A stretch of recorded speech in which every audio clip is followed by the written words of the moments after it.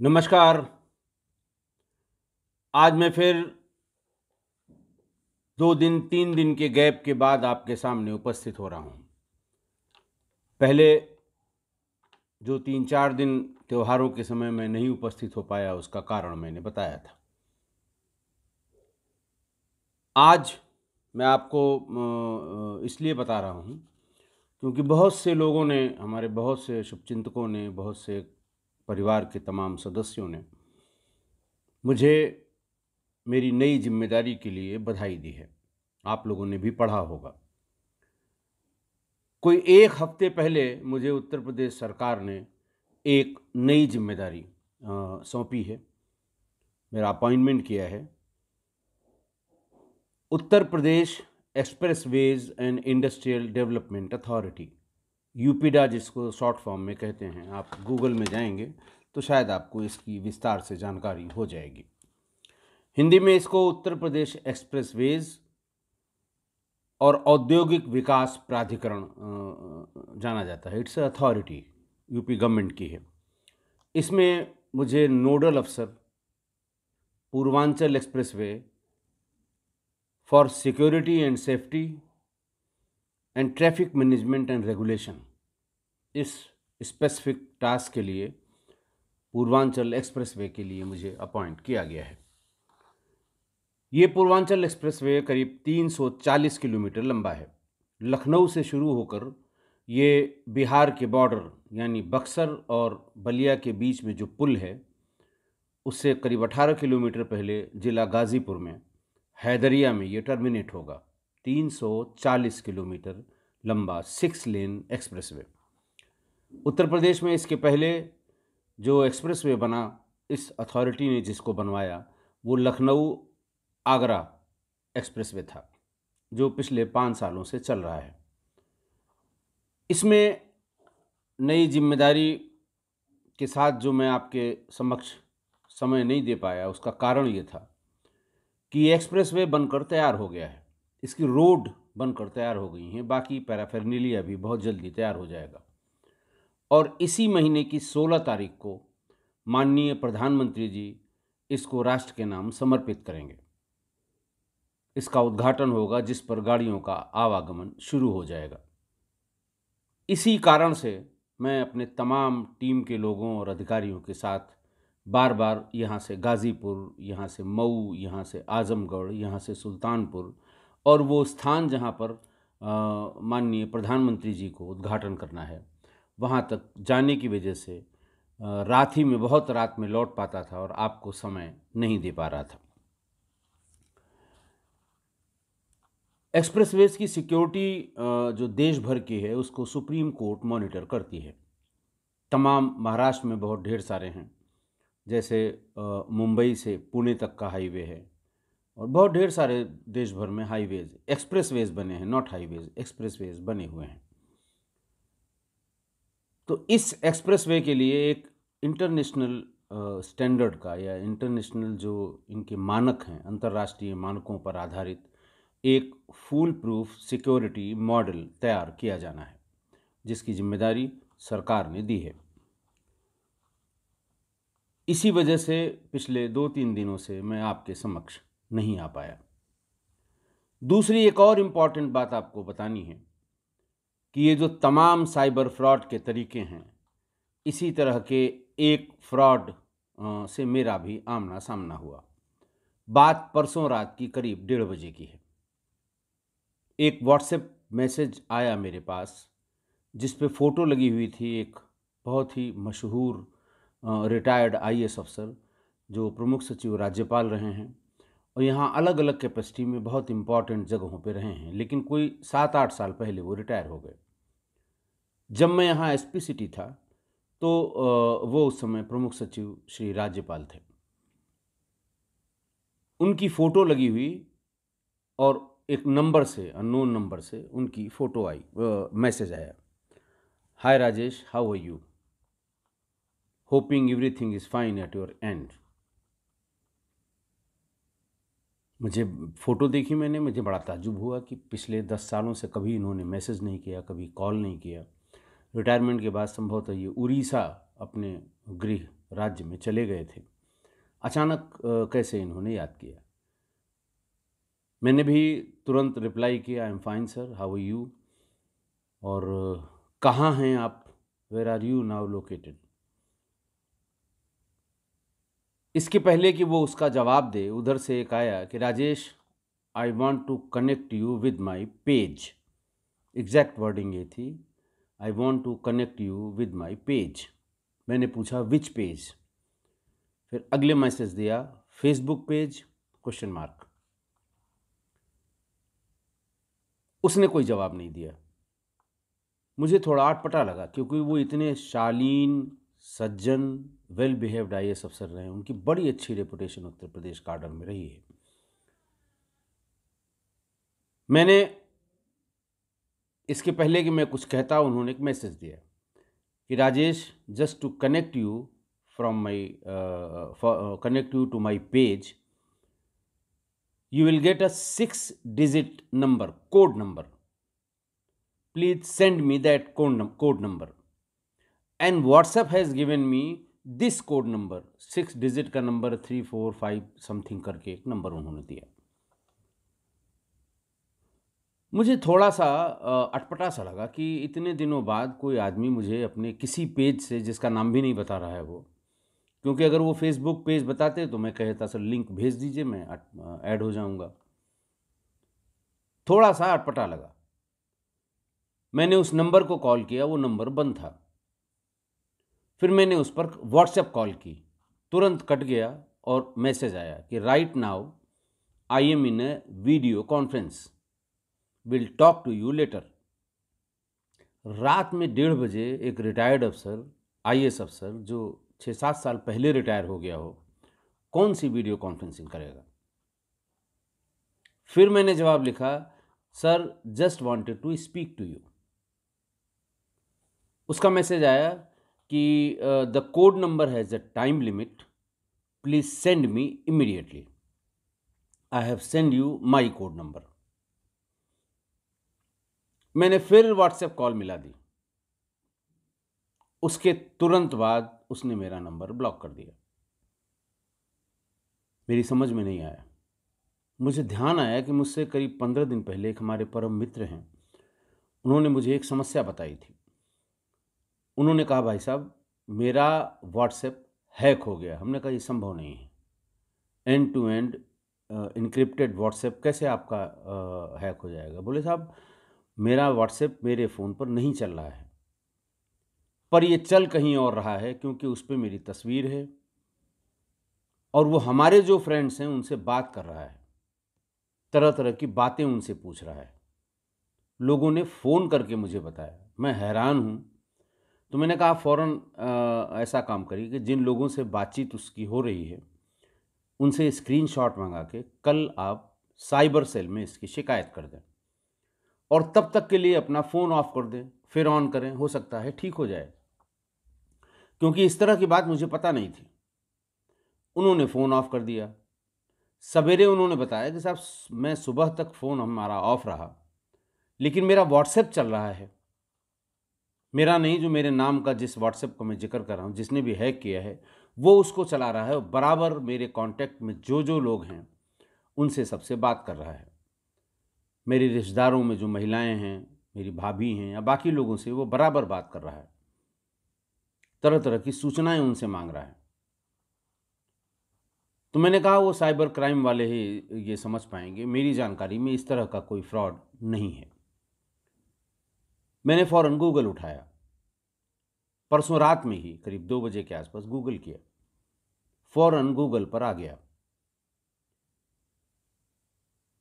कि ये व्हाट्सएप का नए तरह का फ्रॉड है। इसका नाम है WhatsApp O T P fraud और कहीं कहीं इसका नाम लिखा है गूगल में WhatsApp O T P scam और इसके बारे में पूरी जानकारी ये आ, दी हुई है आ, इंडिया टुडे में।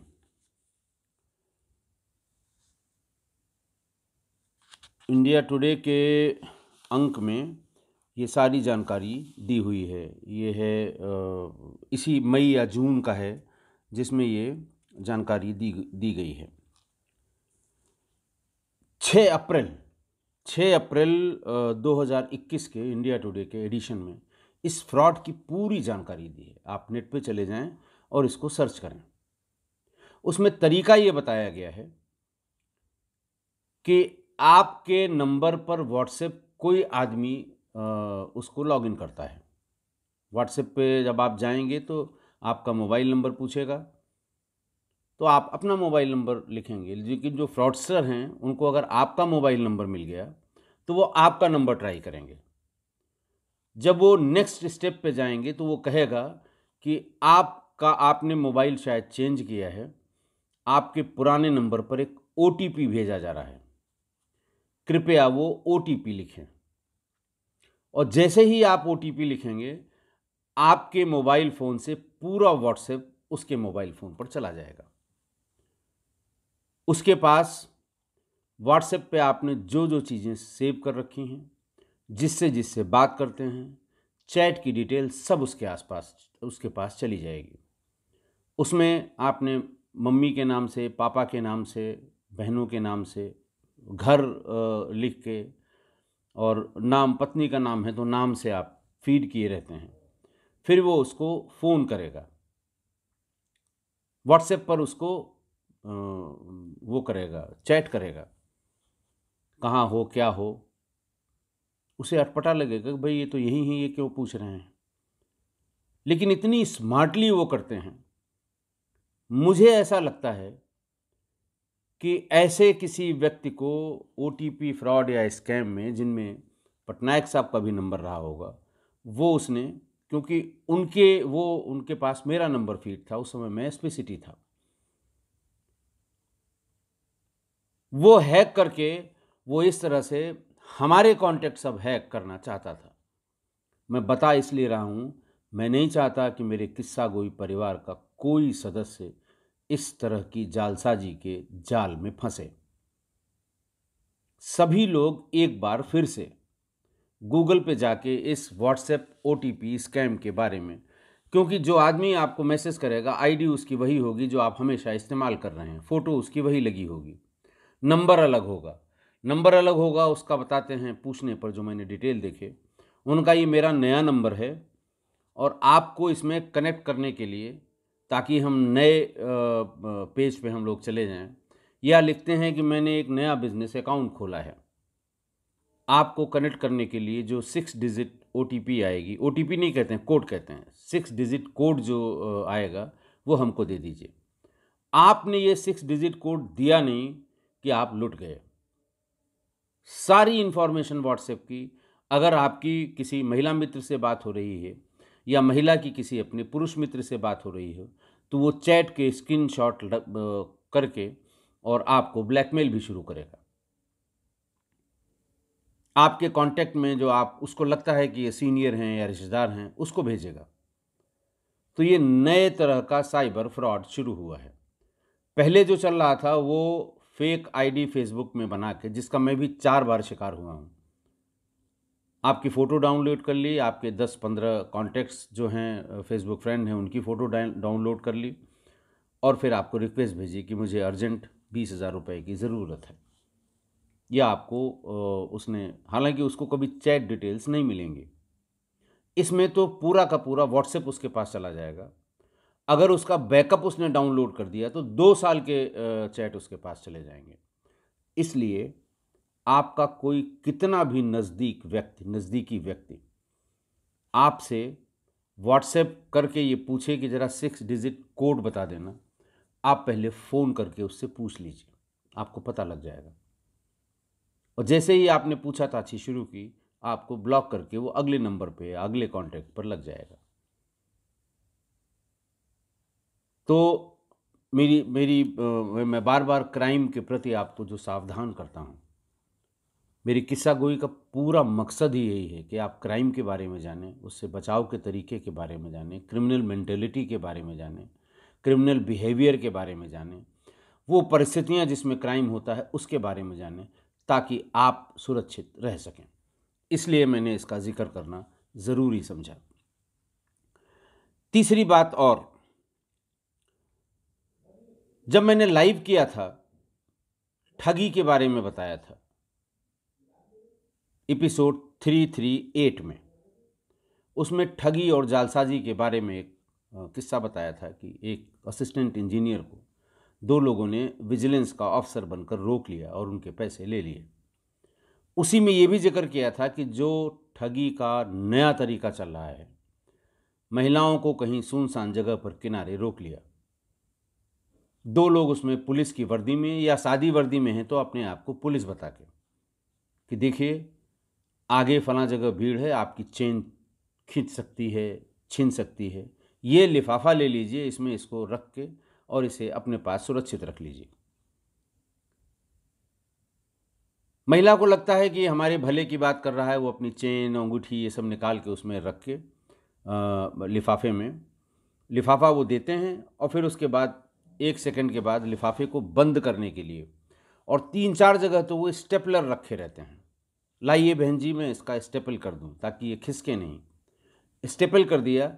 इस बीच में उनका दूसरा साथी उसी तरह के एक लिफाफे में जिसमें कंकड़ पत्थर रखा हुआ है, वो उनको पकड़ा दिया। जाके जैसे ही खोला, उन्हें इस बात का पता लग गया। मैं इसलिए भी उस एपिसोड में मैंने आपको बताया था कि आप इसके शिकार न हों। आप तुरंत कह दें कि, भाई साहब, मैं रख लूँगी, आप परेशान मत होइए। या कह दीजिए कि आगे हमारा बेटा खड़ा हुआ है, भाई सामने और मैं अभी उसको लेके आती हूँ, तब आपसे बात कराऊँगी। भाग जाएगा। इस एपिसोड के बाद 9 नवंबर 2021 को गोरखपुर से श्री राजेश सिंह, हमारे बहुत रेगुलर परिवार के व्यूवर हैं, आप बहुत कमेंट भी करते हैं, आप देखिएगा। उन्होंने एक मेल भेजा। उन्होंने लिखा कि मैंने आपका वो एपिसोड सुना था। और उसी तरह की एक घटना आज के अखबार में है, बहुत डिटेल में लिखा हुआ है। अखबार की कटिंग उन्होंने मेल के साथ अटैच करके भेजी। बोले, यही एग्जैक्टली ये क्राइम जो आपने बताया था, वो गोरखपुर में हुआ है। एक महिला को उन्होंने लूट लिया। वो दैनिक जागरण की कटिंग में आज कम्युनिटी में डालूँगा। 9 नवंबर 2021 की। और मैंने आपको बताया था ये 25 अक्टूबर दो हज़ार इक्कीस को। उसमें लिखा है कि सिंघाड़िया के बसेरा कॉलोनी की रहने वाली दुर्गावती जी, संडे को 12 बजे Mahamana Madan Mohan Malaviya university of technology बड़ा फ़ेमस वहाँ का इंजीनियरिंग कॉलेज है, के सामने गेट के सामने बने हुए बस स्टैंड पर इंतज़ार कर रही थी बस का। उन्हें शायद देवरिया जाना था। इसी बीच में दो लोग मोटरसाइकिल से आए। उन्होंने कहा कि देखिए आप बस में चढ़ेंगी और बस में पिछले तीन दिन से चैन और ये सब बदमाश खींच ले जाते हैं, तोड़ ले जाते हैं। आप कृपा करके इसको एक लिफाफे में, एक लिफाफा दिया उन्होंने कहा इसको लपेट के रख लीजिए। और उसी जालसाजी में वो गहने वाला लिफाफा ये ले गए और कंकड़ पत्थर वाला लिफाफा उनको पकड़ा गया। वो जैसे ही आगे बढ़े वैसे ही महिला ने फ़ौरन लिफाफा खोल के देख लिया। देखा कंकड़ पत्थर वो चिल्लाई भागी लेकिन वो मोटरसाइकिल से चले गए। 2021 और 20 की दसियों घटनाओं का ज़िक्र इस आ, कटिंग में है। फिर मेरा आ, निवेदन है मेरी मेरा रिक्वेस्ट है कि हमारे परिवार किस्सा कोई परिवार के किसी भी व्यक्ति के साथ ऐसी घटना न हो। इसलिए मैं आ, आपको श्री राजेश सिंह के उस मेल के बारे में बता रहा हूँ। आज मैं उसे पोस्ट कर दूँगा। कुछ लोगों ने और तमाम दुखी हो के बातें लिखी, जैसे, मेरे एक तो तीन चार दिन तब मैं एबसेंट रहा और अभी दो दिन। इससे नाराज़ हुए लोग, हमारे परिवार के लोग। बुलेट राजा लिखते हैं कि साहब, आप चार पाँच एपिसोड रिकॉर्ड करके रखा करिए और जिस दिन आपको ना आना हो, उस दिन उनको अपलोड कर दिया करिए। इससे आपकी कंटिन्यूटी बनी रहेगी। राजा भाई बड़ा कठिन होता है कि आ, हम जो है किसी घटना के बारे में जिसके बारे में आपको बता रहे हैं उसके फैक्ट्स को पहले जान लें। पुरानी पेपर कटिंग्स ढूंढनी पड़ती हैं अपनी डायरी को देखता हूँ कोशिश करता हूँ कि हो सकता है ये नेट पे मिल जाए ताकि फैक्ट्स को कोई चैलेंज न करे। इस पूरी प्रोसेस में डेढ़ दो घंटे लग जाते हैं। और अगर मैं तीन चार या एक भी अगर एक दिन में स्टैंड बाई के रूप में रिकॉर्ड करूँगा तो समय लगेगा। मैं तो सिर्फ़ इसलिए इतना अपना अभी रिकॉर्ड करूँगा, फिर इसको अपलोड करूँगा थंबनेल इसमें लगेगा, तब आपके पास तक पहुँचेगा। दो दो, ढाई घंटे इसमें लग ही जाते हैं। ये सही है कि मैं देर में करता हूँ, रात में करता हूँ, और अब नई ज़िम्मेदारी हो गई है तो हो सकता है समय कम मिले। मैं पहले ही बता दूँ कि चूँकि 16 तारीख को माननीय प्रधानमंत्री जी पूर्वांचल एक्सप्रेसवे को देश के नाम समर्पित करेंगे, उद्घाटन करेंगे। इस बीच में हो सकता है अपने विभागीय कार्य से, अपने नए दायित्व के कारण।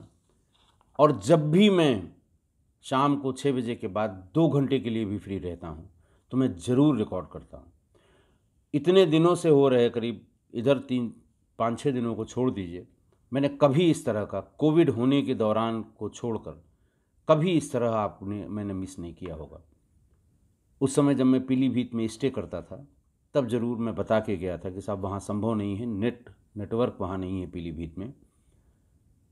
इसलिए दो चार छः दिन के लिए, लेकिन इस बीच में जो इरेगुलर हुआ हूँ, उसका ये कारण है। एक और हमारे किस्सा गोई परिवार के सदस्य हैं। परसों का उनका कमेंट पढ़िएगा। श्री महेश सिंह सिंह, ये आईडी है। उन्होंने लिखा कि देखिए, मैंने आपके चैनल को कभी सब्सक्राइब नहीं किया, लेकिन मैं देखता रहता हूँ। आपका कोई टाइम नहीं है, कभी शाम को अपलोड कर देंगे, कभी देर रात करेंगे, कभी करेंगे ही नहीं, कभी गायब हो जाएँगे। इसलिए मैं आपको ये बता रहा हूँ कि न मैंने कभी सब्सक्राइब किया था और न मैं कभी करूँगा। ये कमेंट में आप पढ़िएगा। और उसका रीज़न लिखते हैं कि जिसके टाइम का ही कोई ठिकाना नहीं है, उसके पीछे मैं क्यों भागूं? महेश सिंह जी, गुस्से में आपने ज़्यादा लिख दिया। एक दो दिन नहीं आया तो मेरे टाइम का ठिकाना नहीं है, ऐसा नहीं है। आपके पास चैनल में साढ़े तीन सौ चालीस बयालीस जो भी हैं वो आपके पास हैं। आप उसमें टाइम देख लिया करिए। कब अपलोड किया गया? कब से लोगों ने देखना शुरू किया? लगभग वही टाइम है। ऑफ़िस के काम से या बाकी काम से। अच्छा उस समय तो दो बार के कोविड में ऑफ़िस के भी काम नहीं हुआ करते थे तो टाइम से अपलोड हो जाया हो जाया करता था। अभी जब मैं रिटायरमेंट के बाद फ्री था, खाली था, तब भी बहुत गैप नहीं हुआ। लेकिन अब ये थोड़ी सी मजबूरी है। दूसरा ये मैं चैनल या ये जो एपिसोड हैं, ये मैं कोई पैसे के लिए, मैं कोई प्रोफेशनल यूट्यूबर नहीं हूँ। डेढ़ साल, दो साल तो मैंने मोनेटाइज ही नहीं किया। और आप ही लोगों के रिक्वेस्ट के बाद कि साहब आप तो रिटायर हो गए, मोनेटाइज कर लीजिए। कभी मेरा ध्यान इस पर नहीं रहा कि मैं नहीं करूँगा तो मेरे पैसे नहीं बनेंगे। ऐसा कभी नहीं रहा। मैं तो सिर्फ़ ये चाहता हूँ कि हमारे से जुड़े हुए सभी लोग हमारे परिवार के सभी लोग किसी न किसी तरह की क्राइम से उनका बचाव कैसे होगा इसलिए मैं इतनी मेहनत करके आपके सामने क्राइम की घटनाएँ ले आता हूँ। मेरा कोई आ, मैं यू मैंने बहुत बार बताया कि मैं प्रोफेशनल यूट्यूबर नहीं हूँ। मेरे पास कोई टीम नहीं है। मैं अपनी याददाश्त और फैक्ट्स को स्ट्रेट करके आपके सामने क्राइम की वो घटनाएँ ले आता हूँ, जिससे आपको थोड़ा सबक मिले, आप थोड़ा सावधान हो, आपके दिमाग में वो चीज़ बनी रहे। अब आज की वारदात काफ़ी टाइम हो गया। आज की वारदात फिर है लखनऊ की। थाना है कृष्णानगर। मोहल्ला है किला मोहम्मदी।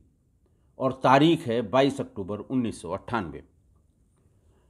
बीकर सेक्शन के लिए बनी कॉलोनी में मकान number E one zero eight M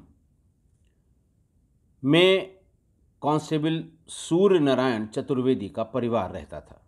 वो खुद भी रहते थे और परिवार रहता था। पहले कभी वो पोस्ट रहे होंगे आसपास, उन्होंने खरीद लिया। लेकिन उस दिन उनकी पोस्टिंग कृष्णानगर की ही एक दूसरी चौकी बिजनौर में थी। और वो रात की ड्यूटी पर तैनात थे।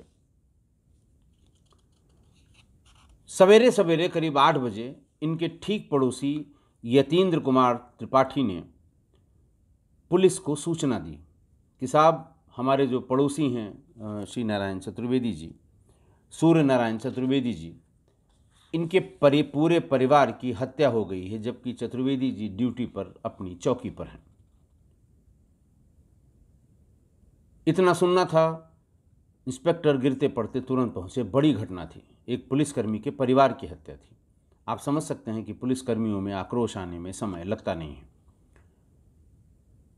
तुरंत मौके पर पहुँच के उन्होंने देखा कि कांस्टेबल सूर्य नारायण चतुर्वेदी की पुत्री कुमारी नीतू पाँच वर्ष, पुत्री कुमारी विकी तीन वर्ष, और पुत्री कुमारी इंदु डेढ़ वर्ष।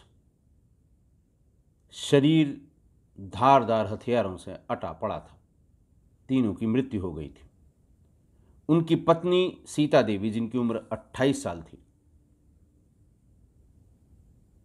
वो भी अचेत अवस्था में घायल पड़ी हुई थी। ऐसा लग रहा था शायद इनकी मृत्यु हो गई। सिपाहियों ने, बाकी लोगों ने देखा तो उनकी साँसें चल रही थीं। फ़ौरन उन्हें अस्पताल के लिए भेजा गया। इतनी गंभीर घटना थी और चौथी लड़की इनकी, कुमारी रिंकी, जिसकी उम्र करीब आठ साल थी। वो एक कोने में दुबकी बैठी हुई थी। वो मानसिक रूप से दिव्यांग थी मंदबुद्धि थी और उसकी ग्रोथ मेंटल ग्रोथ न के बराबर थी। उससे पूछने का प्रयास किया गया, लेकिन वो कोई भी चीज़ न समझ पा रही थी, न बता पा रही थी। इतनी बड़ी घटना की एक सर्विंग कांस्टेबल जिसकी तैनाती उसी थाने के दूसरे चौकी पर है, उसके परिवार की हत्या हो जाए, लगभग पूरे परिवार की। आईजी जोन थे उस समय करमवीर सिंह, वो भी भागते दौड़ते मौके पर पहुँचे। डीआईजी रेंज थे श्री ए के गुप्ता, वो भी मौके पर। एसएसपी लखनऊ उस समय थे, ए के डी द्विवेदी साहब, वो भी पहुँचे। एसपी सिटी थे श्री सुभाष बघेल, मुझसे एक बैच सीनियर हैं। आईजी झांसी हो के वो भी रिटायर हो गए। ऊपर सारे लोग रिटायर, करमवीर सिंह साहब भी रिटायर हो गए ए के गुप्ता साहब भी रिटायर हो गए ए के डी द्विवेदी साहब भी रिटायर हो गए, बघेल साहब भी रिटायर हो गए और एस पी आर ए थे विजय भूषण। वो आईजी हो के वो भी रिटायर हो गए। मैं एस टी एफ़ में था। जैसे ये सनसनी की इस घटना का पता लगा, हम लोगों को डीजी ऑफ़िस से डायरेक्ट किया गया कि आप लोग भी पहुँचिए। हम भी पूरा, पूरी टीम लेकर वहाँ पहुँचे। वहाँ घर के भीतर एक कोने में एक फावड़ा रक्त रंजित पड़ा हुआ था। किसी के कुछ समझ में नहीं आ रहा था। सीता देवी यानी सूर्य कुमार चतुर्वेदी की जो पत्नी थी, वो सूर्य नारायण चतुर्वेदी की जो पत्नी थी, सीता देवी, उनके गर्दन में गंभीर घाव था। होश में थी, लेकिन वो कुछ बोल नहीं पा रही थी। कोशिश की गई कि कागज़ कलम दिया जाए, शायद वो बताएँ, क्योंकि वही चश्मदीद गवाह हैं पूरी घटना की। लेकिन वो कुछ न लिख पा रही थी, न बोल पा रही थी, न समझ पा रही थी। कांस्टेबल सूर्य नारायण चतुर्वेदी को उनके ड्यूटी स्थान से खबर करके गाड़ी भेजकर उन्हें मौके पर लाया गया। वो भी बेचारा वहाँ पहुँच के अपने परिवार की हालत देखकर विक्षिप्त हो गया। थोड़ी देर में उसने कहा कि साहब, मेरा एक भतीजा प्रदीप भी साथ में रहता था। उसका नहीं इसमें कहीं पता लग रहा है, वो कहाँ पर है? चूँकि ये बात वहाँ मौजूद किसी पुलिस अधिकारी को नहीं पता थी कि इनका कोई भतीजा है जो इनके साथ ही पिछले साल भर से रह रहा है। उन्होंने उसका हुलिया पूछा, क्या पहने हुए था? बोले, हम जब ड्यूटी पर गए थे तो ये ये पहने हुए था। उसको ढूंढना शुरू किया। तभी पड़ोस के किसी व्यक्ति ने बताया कि उसको सुबह छः बजे बदहवास हालत में घर के बाहर भागते हुए देखा था। कहाँ गया ये पता नहीं। वायरलेस पे मैसेज किया गया। पूरी हुलिया बताई गई कि जहाँ कहीं ये व्यक्ति मिले, इसको तुरंत थाने पर बिठा लिया जाए। इससे पूछताछ इस तिहरे हत्याकांड के मामले में बहुत आवश्यक है। तमाम हल्ला गुल्ला के बाद अचानक जो पीआरवीज होती थी, पुलिस रिस्पांस व्हीकल होती थी उस ज़माने में चलती थी। आजकल तो dial hundred, one one two, तमाम वहीकिल चलती हैं। उस समय यही एक व्हीकल एक थाना क्षेत्र में एक चलती थी, जो गश्त किया करती थी, जिस पर वायरलेस हुआ करता था। उसने वायरलेस से कृष्णानगर थाने में सूचना दी कि बिजली पासी किले के पास के जंगल में एक लड़का संभवतः पेड़ से गिर गया था, गंभीर रूप से घायल हो गया था। उसको डिस्ट्रिक्ट हॉस्पिटल बलरामपुर भेज दिया गया। मैसेज में उसका हुलिया बताया गया कि ये कपड़ा पहने हुए है, इतनी लंबाई है, ये रंग है, इस तरह की बातें बताई गई।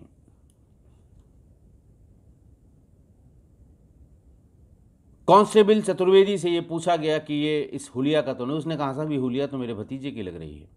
फ़ौरन उसको एक गाड़ी में बिठाकर और बलरामपुर हॉस्पिटल भेजा गया कि जाके देखो, ये वही है और अगर नहीं है तो उसको ढूंढा ढूंढा जाना चाहिए। पुलिस उसको लेके वहाँ गई और उसने देखते ही पहचान लिया कि ये प्रदीप है। लेकिन तब तक प्रदीप की मृत्यु हो चुकी थी। बहुत ऊंचाई से गिरने से गंभीर चोटें आई थीं और तब तक उसकी मृत्यु हो गई थी। कुल मिला के चार लाशें हो गईं, एक परिवार की। तीन बच्चियाँ और एक उनका चचेरा भाई, कांस्टेबल सूर्यनारायण चतुर्वेदी का भतीजा। इन चारों को इन चारों को सील बंद किया गया और फिर इनको पोस्टमार्टम के लिए भेज दिया गया। पोस्टमार्टम रिपोर्ट भी आ गई। बाकी तीनों बच्चियों की शार्पेस्ड वेपन से एंटीमार्टम इंजरीज और ब्लीडिंग के कारण मृत्यु हुई थी और प्रदीप की हाइट से गिरने की वजह से मल्टीपल फ्रैक्चर्स और हेड इंजरी के कारण मृत्यु हुई थी। पुलिस ने बड़ी कोशिश की साइकोलॉजिस्ट को बुलवाया, महिला कांस्टेबल से बात कराई कि रिंकी, जिसकी आठ साल उम्र थी, सात आठ साल उम्र थी, उससे कुछ बात पूछी जाए, लेकिन सारी मेहनत बेकार हो गई। उससे कुछ भी पता नहीं लगा, वो कुछ भी बताने की स्थिति नहीं थी। जल्दी जल्दी पोस्टमार्टम कराया गया, पोस्टमार्टम रिपोर्ट लेके कांस्टेबल चतुर्वेदी चार लाशों को लेके अपने गृह जनपद गोंडा उनका अंतिम संस्कार के लिए उनके अंतिम संस्कार के लिए चले गए। इस बीच में सारा ध्यान केंद्रित किया गया। टीमें बनाई गई गोंडा भेजी गई कि इनकी कोई पारिवारिक रंजिश तो नहीं है।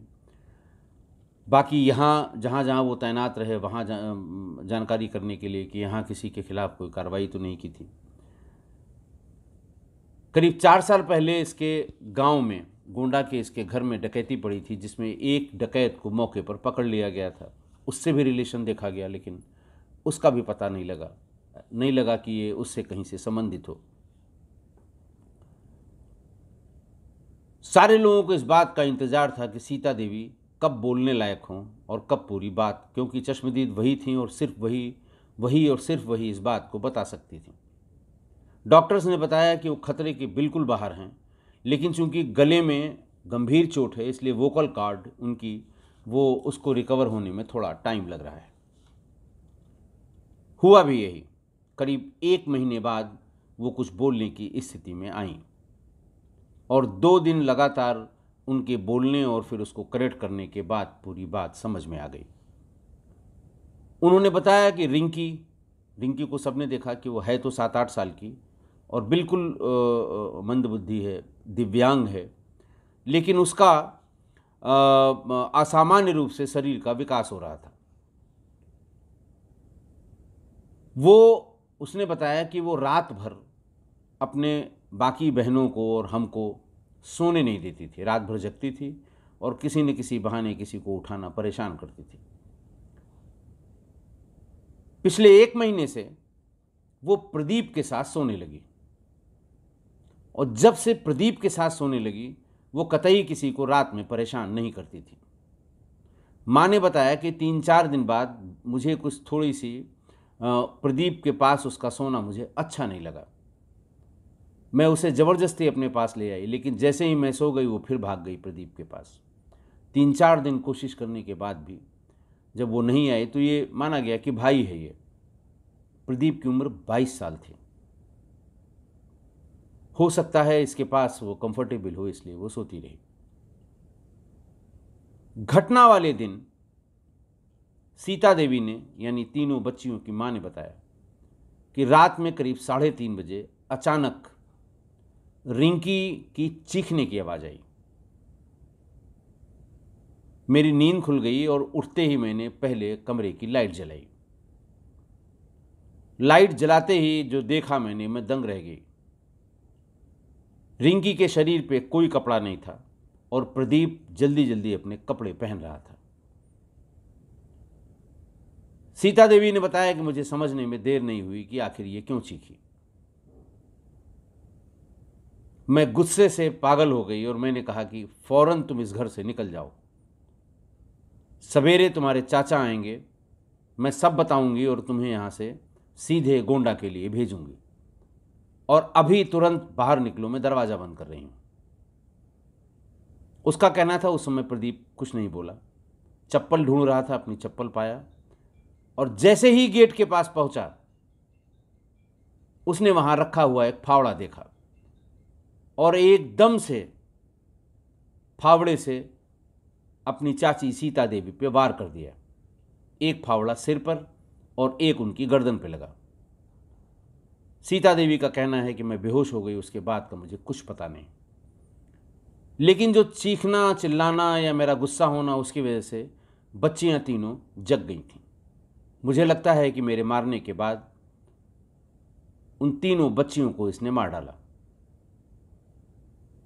और चूँकि जैसा आप बता रहे हैं, मौके पर रिंकी ने सारे कपड़े पहन रखे थे तो ऐसा लगता है उसने रिंकी को कपड़े पहनाए। हो सकता है उसे उस समय ये लगा हो, ग्लानी हुई हो कि वो वहाँ से भागा। और बिजली पासी किले के पास जो जंगल है उसमें, पीपल के एक बहुत पुराने दरख्त में वो ऊपर चढ़ गया। शायद इसलिए कि ऊपर रहूँगा तो किसी को पता नहीं लगेगा। नीचे रहूँगा तो पुलिस या बाकी घर के लोग ढूंढ लेंगे। और शायद ऊपर चढ़ने या ऊपर से थोड़ा नीचे आने या कंफर्टेबल होने की प्रोसेस में वो वहाँ से खिसका नीचे ज़मीन पर गिरा और मर गया।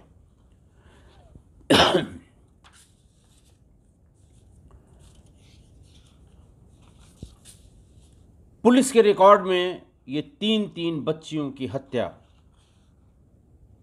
ये बंद कर दी गई क्योंकि पुलिस के हिसाब से और वैसे भी आ, किसी को कोई शंका नहीं थी जो पेपर कटिंग्स हैं मेरे पास कि प्रदीप ने ही इन तीनों को मारा जो वजह उनकी माँ ने बताई, वो भी समझ में आती है। चूँकि हत्यारा मारा गया, अपनी मौत मारा गया, इसलिए इस क्राइम के, इस क्राइम को आगे बढ़ाने की कोई आवश्यकता नहीं। फाइनल रिपोर्ट लगी और तीन तीन जान जाने के बाद फ़ाइल बंद हो गई। आज की घटना। आज की घटना में एक कामुक लड़के ने सारे रिश्ते नातों को तार तार कर दिया। और मानवता को शर्मसार कर दिया। पकड़े जाने पर तीन मासूमों की हत्या कर दी, जिसमें से एक डेढ़ साल की बच्ची भी थी। क्या कसूर रहा होगा? वो तो पहचान भी नहीं पाएगी, लेकिन उसको भी मार दिया। अपने को छिपाने के लिए कि मैं पकड़ा न जाऊँ, मेरे पे किसी की नज़र न पड़े, पीपल के बड़े दरख्त पे चढ़ गया। और नियति को शायद यही लगा होगा कि इसके पाप की सज़ा तत्काल ही मिल जाए। वहाँ से फिसला, नीचे गिरा और मर गया।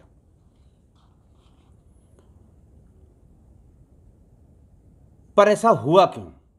कौन सी परिस्थितियाँ ऐसी थीं कि तीन तीन बच्चियों की हत्या हो गई? एक तो ये, सीता देवी के पार्ट पर ये लापरवाही है कि जो बच्ची मंदबुद्धि है, दिव्यांग है अपनी बात न कह पाती है, न सुन पाती है, उसकी बाकी बच्चियों से सबसे ज़्यादा केयर होनी चाहिए थी। अपने पास रखती सपोज़ करिए वो भाग रही थी, कारण ढूंढती कि ऐसा क्यों कर रही है, उसके पास क्यों सोती है? कोई न कोई तो कारण होगा। और जब सोती है तो कभी कभार रात में एक आध बार उन्हें चेक, कैसा, ऐसा नहीं है कि पहली बार उसने ऐसा किया होगा प्रदीप ने।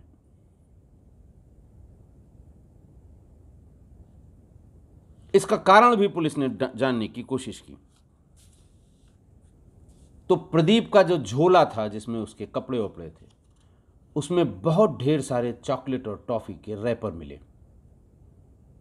और भी बच्चे हैं, अगर रैपर पड़ा हुआ मिलता तो पूछते कि कौन टॉफ़ी लाया, किसने खाया। ऐसा लगता है वो जानबूझ के वो चॉकलेट और टॉफ़ी ले आता था। और संभवतः जब सब सो जाते थे रात में ही टॉफ़ी और चॉकलेट की लालच देकर उस बच्ची के साथ गलत हरकत करता था। दूसरा मैंने हमेशा आपको बताया कि जब भी घर में बच्चियाँ हों, जवान हों, छोटी हों, बड़ी हों, महिलाएँ हों तो किसी भी गैर मर्द को घर की एक्सेस नहीं देनी चाहिए। चाहे वो रिश्तेदार हो, चाहे दोस्त हो चाहे परिवार का हो। क्योंकि मेल मेंटलिटी या ये कह लें कि किसी का जो बायोलॉजिकल प्रोसेस है, किसी के ग्रो करने का, वो कब विकृत हो जाए, इसका कोई भरोसा नहीं है। मेल का मतलब मैं सबके लिए नहीं कह रहा हूँ, ऐसे विकृत मानसिकता वाले पुरुषों की बात कर रहा हूँ। जो मानसिक रूप से विकृत होते हैं। और इस बारे में मैंने कम से कम आपको 10 से 15 घटनाएँ बताई हैं। पूरे सारे एपिसोड्स को मिला दें। एक घटना तो बहुत प्रोमिनेंट है, जो मेरे शायद कैरियर में सबसे ख़राब घटना जिसको मैं मानता हूँ। जिसमें एक स्कूली बच्चों को रिक्शे से घर और स्कूल ले जाने वाले लड़के ने, आदमी ने बल्कि दो ढाई सौ बच्चियों के साथ गलत हरकत की थी।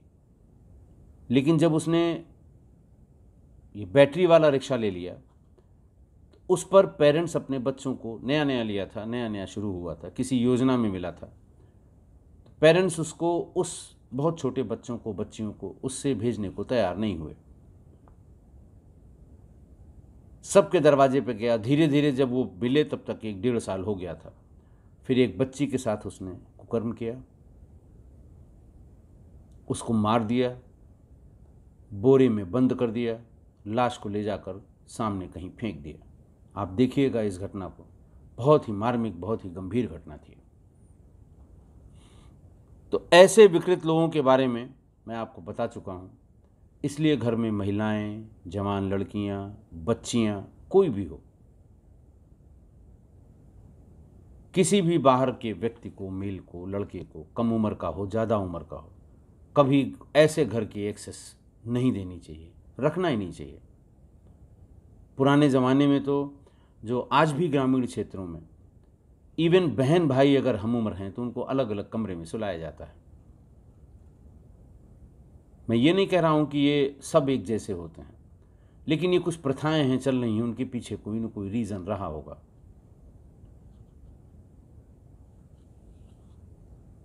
और इतनी जो घटनाएँ मैंने इस तरह की बताई हैं जिनमें किसी को एक्सेस दे दी गई घर पे और उसने सारे रिश्ते नाते तोड़कर और सारी हदें पार कर दी, ऐसे कम से कम दस पंद्रह एपिसोड्स मैंने सुनाए हैं। हमारे ख्याल से आज के लिए इतना ही। और मेरी बात से आप सहमत होंगे। नहीं सहमत हैं तो आप हमें मेल करें कमेंट में लिखें। मैं फिर रिपीट कर रहा हूँ अपना mail ID R A J E S H Rajesh. P A N D E Y कोई स्मॉल नहीं कोई कैपिटल नहीं, कोई गैप नहीं, कोई अंडर स्कोर नहीं। Rajesh Pandey six one eight the rate of Gmail dot com आज के लिए बस इतना ही। बहुत बहुत धन्यवाद।